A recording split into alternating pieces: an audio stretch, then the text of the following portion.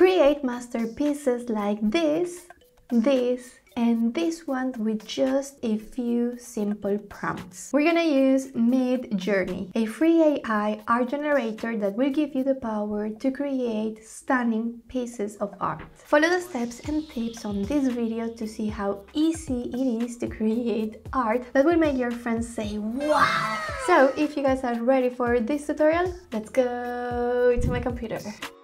To start with, we're gonna go to midjourney.com. If you didn't know, Midjourney works with Discord. And if you are not familiar with Discord, this is a platform that works like a chat. Now, we have two different options. We can create a new Discord account or we can sign in if we already have an account. In here we also have two other buttons that you may find useful. If you want to learn more about how to get started, you can always go to this button and you will have a lot of information that is going to be very useful. And if you want to get inspired by others' creations, you can click on this button and see the most recent community showcase. You can scroll down and see the creations of others. And when you hover on these images, you will see the prompt used to create these images. If you go up, you can also filter these results by top. Let me go back to the homepage to midjourney.com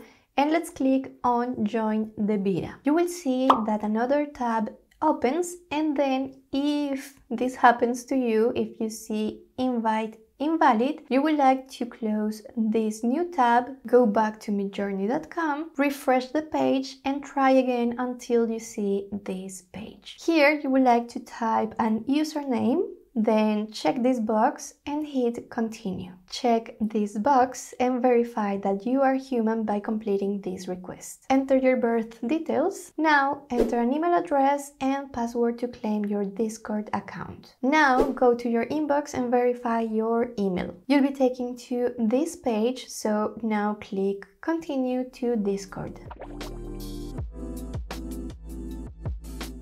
Now we are inside Discord. This is the platform slash chat that we're gonna use to generate our pieces of art. To start with, we're gonna click on this boat icon and because we are new, we're gonna go to one of the newcomer rooms channels. I selected newbie 30s and as you can see, in this thread, we can see images generated by other users. But how do we generate our own? Well, you're gonna type your request on this chat and we're gonna start by writing slash image. Now we're gonna select the autofiller option that appears above, this one that says prompt. Then you would like to type the keywords to describe the image you want to generate. If this is the first time ever that you are using this chat, I do suggest that you copy this prompt because you will need it later. This is my prompt. As you can see, I tried to be very precise with the description of what I wanted to create and at the end I added a dash dash V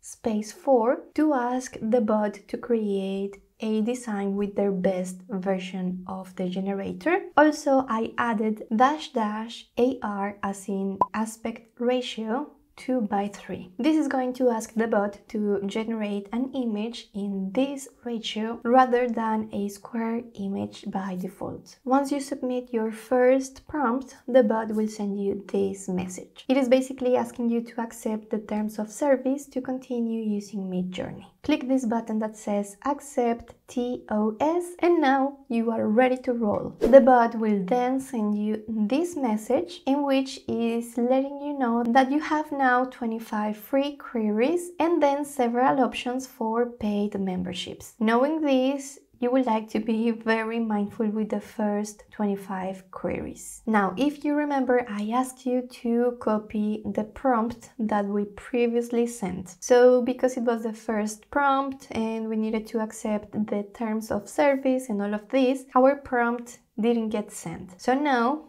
you just need to copy, paste, or write again your prompt and hit enter. Then you would like to search for your request or your query and it is highlighted so it is easier for you to find it. You will see a yellow line and kind of like a lighter color on your message. It will show you the loading percentage in here and also don't be scared with what you see here. The images will look weird at first, but it's because they are being generated and by the time the images are 100% generated, they will look better. You will hear a beep once the piece is ready and now you'll have different options to choose from. The U will scale the image to full resolution and each of these images have a number. So this is 1, this is 2, this is 3 and this is 4. If you select this option, it's gonna ask the bot to scale this image to full resolution. Then we have V. This is going to ask the bot to create four more like this. And then we have the arrow to start over again. You can click on the image to enlarge this preview and from these four options I like better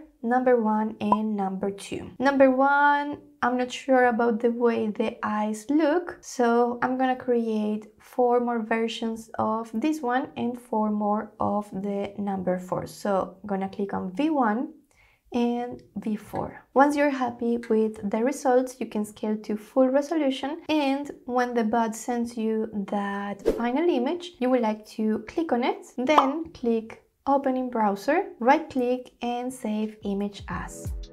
And this is the final outcome. Remember that this was free to generate, but after the 25 free queries, you will have to get a paid membership to continue using this AI art generator. These are the different paid plans. As you can see, the free trial has 25 images lifetime. Then you have the basic plan, which costs $10 per month, and you can create up to 200 images per month.